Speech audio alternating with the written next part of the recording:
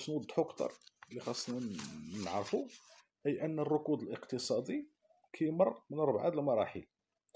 المرحلة الأولى هو التباطؤ والتقلص في النشاط الاقتصادي اللي غادي يدي أن الناس غادي يفقدوا الوظائف ديالها ومن بعد اللي غادي يقدر يدي لتبخر المدخرات أن الناس غادي يبقاو ينفقوا لي زيكونومي ديالهم داكشي اللي دخروه.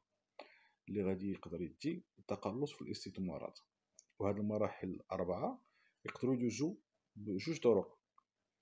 سواء اللي غادي نقول لهم حنا des scénarios premier scénario غيكون واحد السيناريو متفائل و deuxième scénario سيناريو متشائم optimiste آه غنبداو بالسيناريو ال optimiste المتفائل إلى حصلنا إلى استطعنا نحصروا هذا الفيروس هذا آه بالتزامنا نلتزموا بشروط الصحه والسلامة والحجر الصحي غادي نقدروا نقلصوا المدة ديال الركود وإلا قدرنا نقلصوا هذه المدة ديال الركود آه غنقدروا في هذه الحالة غادي نطيحوا فيما يسمى ب V récession أي أن V récession غادي نتخيلوا الحرف V في اللغة الفرنسية أن مبيان النمو غادي يكون على شكل حرف في انهيار في النمو الاقتصادي من بعد غادي يكون واحد الانتعاش سريع.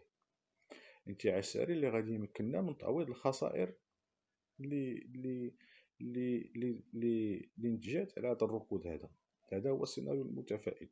أما بالنسبة أما بالنسبة للسيناريو المتشائم إذا المواطنين ما التزموش بشروط الصحة والسلامة وأخذ آه، بجدية آه، الحجر الصحي أن هذا الوباء غادي يستمر معنا لفترة طويلة جدا. وهذه المراحل الأربعة اللي قلناهم غادي يتحققوا بشكل جد عنيف حيث غادي يكون واحد التباطؤ في الاقتصاد في النشاط الاقتصادي إلى ما غادي يكون واحد التوقف تقريبا. غادي يحدثوا فقدان الوظائف إفلاسات الشركات الصغيرة المتوسطة الكبيرة على نطاق واسع. والنتيجة هو انهيار في آه، آه، هو انهيار في المؤسسات البنكية والشركات البنكية لأن المديونية غادي ترتفع. أصحاب الشركات ما يقدروش يخلصوا الدين ديالهم وهنا غادي غادي توقف واحد المحرك الأساسي للاقتصاد اللي هما المؤسسات البنكية. وغادي يحدث منها ينتج منها مشاكل كبيرة بزاف اللي غادي ترجعنا السنوات الوراء. علاش ترجعنا السنوات الوراء؟ لأن الدولة غادي تبقى تنفق باش تحاصر الوباء. وهذا وهذا وهذا وهذا ال budget هذا اللي كان normalement خصو يتفق باش التنمية الاقتصادية والتنمية البشرية غادي توقف وغادي تتنفق لمحاصرة الوباء